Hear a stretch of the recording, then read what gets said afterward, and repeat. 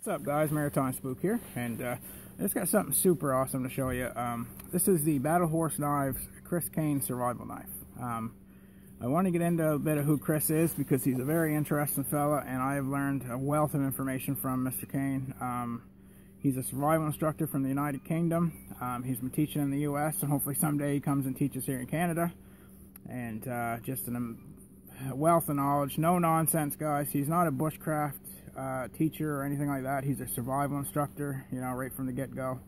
Uh, his father was SAS um, and took him took Chris out since he was like seven and just taught him, you know, navigation, escape and evasion, food, edible plants, um, you know, just the stuff that he was learning in the SAS. He started teaching his son.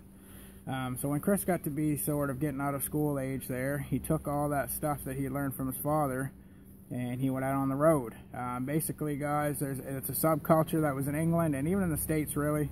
Just he traveling along and, uh, you know, just with a tarp, um, you know, a basher over your head, like a, a fly over your head, a bivy, a sleeping bag, you know, a pot to cook your food in, and a, a good knife.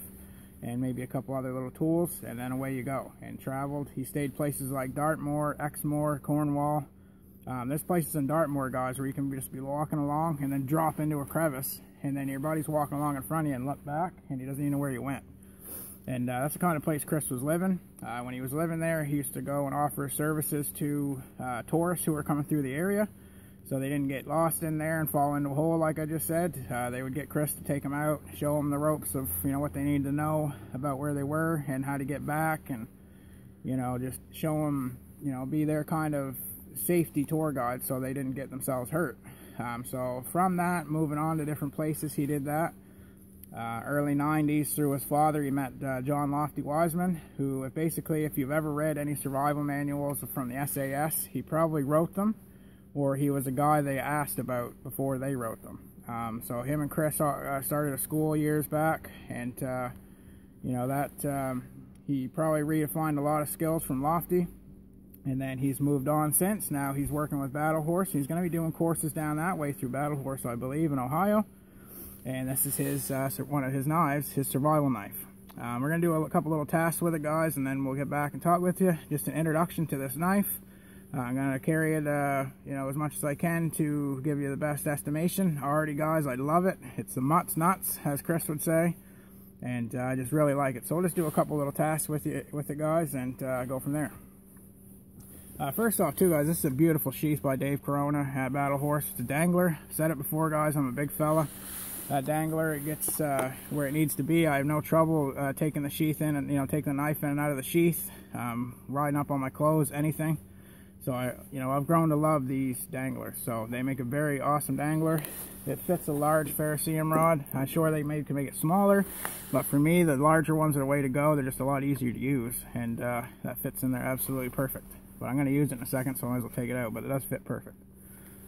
So we'll take that out, guys, and uh, get a little bit of Maya dust going here and show you how there's the beautiful knife. It's rounded here, but it has a 90 degree spine here, and we'll get to that in a second why that is. Coffee cup out of the way here, guys. So like I said, who Chris was uh, in the 90s too, he uh, went back out, was doing his tour guide thing, and uh, he's been on television. He's taught umpteen dozen people and probably saved a lot of lives in a couple schools that he's ran on his own. But now, like I said, he's uh, gone across the pond to the U.S., had some of his knives made. Um, he has a couple awesome other tools coming out, guys. They're already out there for purchase or pre-order, I believe. Uh, his uh, survival tool, the Chris Caine survival tool by Battle Horse, and also the Chris Caine companion. And he actually even has another knife that's called the Evolution. That's a, you know, another a more bushcraft knife. This is more his survival knife, I guess. Um, so there you go, guys. We got some beautiful Maya, Maya dust here, using that 90 degree portion of the spine. And uh, to show you how good this ferro rod, where that 90 degree spine meets up, how good it strikes the ferro rod.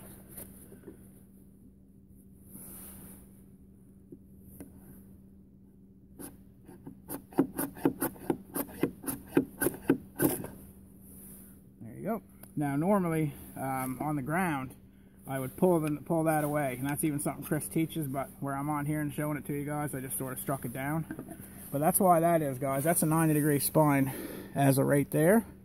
And then it goes into a rounded spine, and that's for, so you can use it as a drawing knife and also for batoning. Um, I don't really have any hardwood here with me, but this stuff, you get the picture. Uh, because of that, it goes right through stuff very easy on that rounded part. No problem at all on that. Show you a few feathers. This knife is super, super sharp too, full flat grind. Bead blasted 01 tool steel and bead blasted micarta uh, handle scales and fisheye pins. Beautiful pins right there, guys.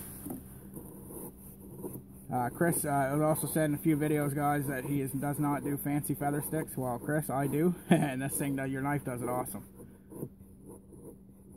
I'm a fancy uh, feather stick kind of guy. And uh, this knife is beautiful for doing feather sticks, I'll tell you that right now. Some little curly cues there. This thing is a notching beast. You can notch these curls out. Get in there and uh, cut yourself out a little spot. Clean that up. And uh, cut yourself out a little spot and get in there with that rounded portion and notch that out like a dream, guys. Get in there and cut that. Turn it over with that huge belly that's got there. Get in and cut that even deeper in. Clean out your notch. And away you go. So just a couple tasks with it guys. It's just the first video.